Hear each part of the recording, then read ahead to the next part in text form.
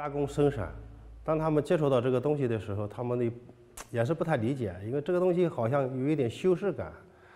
但是通过这个产业做大做强以后，这个变成人人都能挣到钱，人人都能脱贫，又又能给加边的工人带来就业机会，给年轻人提供创业的舞台。所以说，大家对这个东西变成一种热爱。